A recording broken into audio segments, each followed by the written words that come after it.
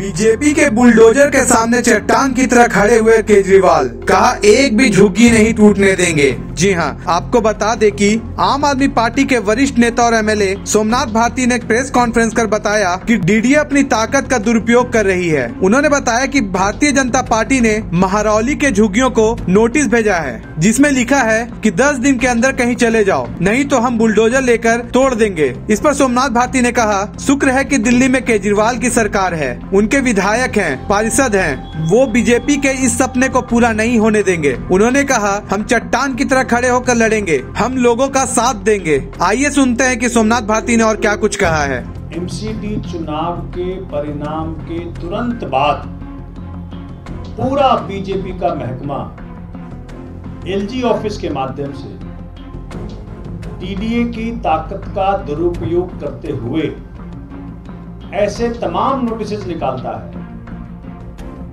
जिसके कारण कई हज़ार लोग विस्थापित होने का खतरा उन पर मटाने लगता है। महरौली में ये जो 12 दिसंबर 2022 का जो नोटिस है, इसमें लिखा गया है कि जी 10 दिन के अंदर अपने आप को, और बकायदा खसरा नंबर इसमें मेंशन है, ढेर सारे खसरा नंबर 10 दिन के भीतर अपने आप को कहीं और ले जाओ, नहीं तो हम अपने बुलडोजर लेके पहुँच जाएँगे। सर्दी का दिन है, तनिक चिंता नहीं है कि गरीब पर क्या बीतेगी। अगर इस प्रकार की कार्रवाई होती। शुक्र है कि अरविंद केजरीवाल दिल्ली में है। अरविंद केजरीवाल की सरकार दिल्ली में है। अरविंद केजरीवाल के विधायक दिल्ली में है। अरविंद केजरीवाल के पार्षद दिल्ली में है, कार्यकर्ता दिल्ली में है, शुक्र है कि हम खड़े हैं चट्टान की तरह भाजपा क्या, एलजी क्या, कोई भी ये सपना भी ना देख ले कि वो बुलडोजर से गरीबों की झुग्गियों को गिरा देंगे। इन इतने बड़े खसरे में, चूँकि मैं मेंबर अथॉरिटी हूँ डीडीए का जब मैंने जाके बात की तो क्लैरिटी तक नहीं है कि भाई क्या है, कहाँ है, क्या खसरा, क्या नहीं, कुछ नहीं क्लैरिटी ज़ीरो इनकी प्लानिंग पहले थी 15 जनवरी को हम बुलडोजर लेके आएँगे। हम वहाँ गए। अरविंद केजरीवाल जी ने कहा, जाके पूरे मुस्तैदी के साथ हमें इनका साथ देना है। हम सब वहाँ पहुँचे। और यह मालूम पड़ा कि ये जो मैं आपको मैप दिखाता हूँ वहाँ का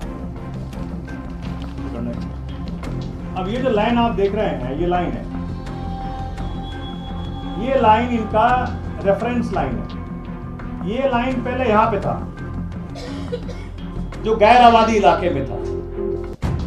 गैर आबादी इलाके का लाइन आबादी इलाके में ले आए और उसका कोई भी साइंटिफिक बेसिस नहीं है। इसमें गोशिया कॉलोनी के साथ साथ जैसा किसी ने कहा गोशिया कॉलोनी के दस हज़ार लोग प्रभावित हैं और आपको मैं याद दिलाना चाहता हूँ, आप पत्रकार साथियों के माध्यम से दिल्ली को याद दिलाना चाहता हूँ कि पहले भी जब 2017 में इस प्रकार की बात उठी थी, तब भी हम लोग वहाँ पहुँच करके बचाव किया था और भाजपा सवाल पूछे थे और सवाल पूछने के कारण वो सारे वहाँ से भाग गए थे। आज फिर अब गोशिया कॉलोनी तो है ही साथ में, लेकिन उनके साथ में बड़ा हिस्सा महरौली का, जिसमें मिडिल क्लास भी हैं और हर प्रकार के वर्ग के साथी वहाँ पे हैं। सबको तो कुल मिला के चालीस से पचास हज़ार लोगों का डिस्प्लेसमेंट है। तो भाजपा को बता देना चाहता हूँ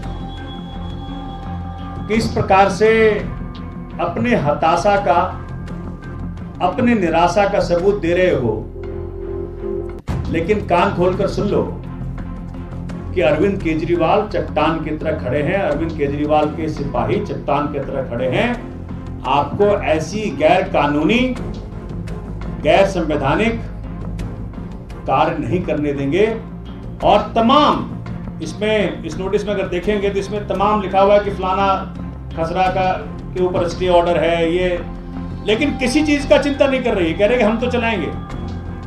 तो ना तो इनको कानून ची, कानून का डर है, ना सुप्रीम कोर्ट के आदेश का डर है, ना हाई कोर्ट के आदेश का डर है, ना जो डूसिप में प्रोटेक्टेड है, जो अरविंद जी ने प्रोटेक्ट कर रखा है डूसिप के ज़रिए, ना उसकी चिंता है, कुछ नहीं है। यही है, कोर्ट, यही है, वकील, यही है, सब कुछ। तो जो इनका मर्ज़ी आता है एक कागज़ के ज़रिए 40 से पचास हज़ार लोगों को डिस्प्लेसमेंट करने के पहले सोचते सो, सोचते तो सही। तो इस पत्रकार वार्ता के माध्यम से उन साथियों को कहना चाहते हैं कि आप घबराइएगा मत।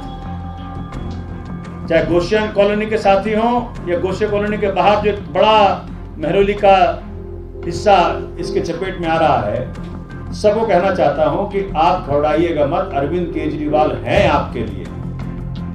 आम आदमी पार्टी के विधायक, पार्षद हैं आपके लिए। आप घबराइएगा मत, हम पुरजोर तरीके से डीडीए के सामने केस लड़ रहे हैं और भाजपा को चेतावनी देना चाहते हैं कि ऐसी हरकत सोचिएगा इस खबर को देखकर आप क्या सोचते और समझते हैं, हमें कमेंट कर ज़रूर बताएँ। न्यूज़ रूम से अमन बर्डियार की रिपोर्ट।